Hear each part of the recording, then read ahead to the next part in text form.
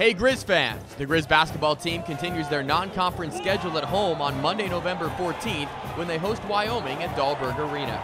Don't miss out on the excitement of Coach DeCuire's new team for their regular season home opener. Let's bring back the zoo and pack the arena. Tickets available at the Adams Center box office, griztix.com, or by calling 243-4051. See you Monday, November 14th at 7 o'clock for the Griz and Wyoming. Go Griz!